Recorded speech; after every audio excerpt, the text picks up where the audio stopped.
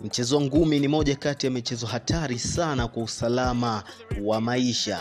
Ebane, hii haipingiki.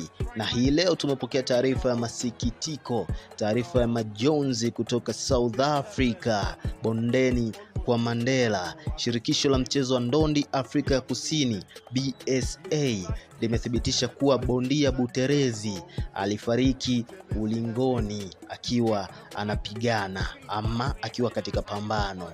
Je, unataka kujua ilikuwaje kuwaje? Fuatana nami mpaka mwisho. I go by the name Chia Skills, niko na mwanangu Elias Sabai. Yes, subscribe, like, share na comment pia. So, karibu sana nikujuze. Yes, duru zinaarifu kuwa bondia wa Afrika ya Kusini Simiso Butelezi amefariki dunia baada ya kuvuja damu kwenye ubongo kufuatia pambano la ndondi lililofanyika mwishoni mwa juma mjini Durban.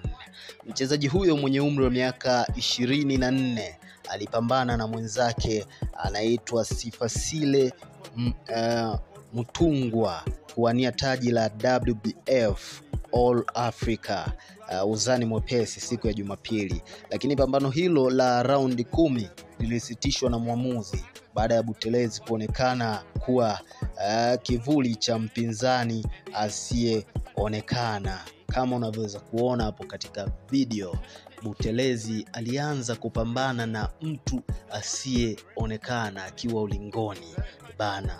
Inasikitisha kwelikweli. Hiyo yote ni katika harakati za kuhakikisha kwamba anatafuta kipato ili aweze kusaidia familia.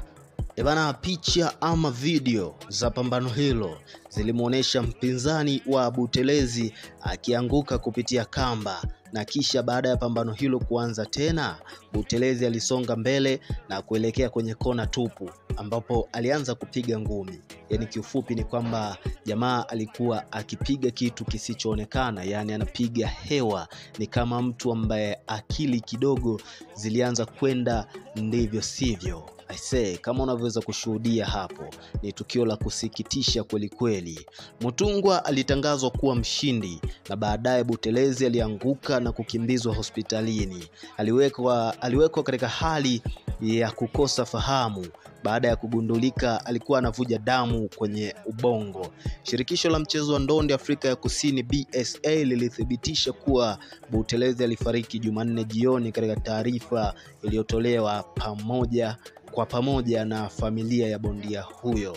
Butelezi alitambuliwa kama bondia mkubwa ambaye alikuwa mfano mzuri nje na ndani ya ulingo. BSA pia ilisema itafanya ukaguzi huru wa matibabu wa tukio hilo, yaani uchunguzi wa kina utafanyika kugundua, je, ni kipi chanzo, ni kwa nini jamaa amefariki dunia.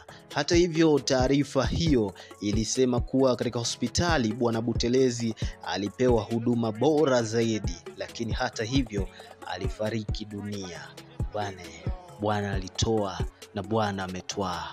Rest in peace Butelezi. Huyu ni shujaa ambaye amefariki ulingoni akipambania eh, maslahi ya familia yake. Alikuwa akitafuta kipato kwa ajili ya wale wanaomtegemea.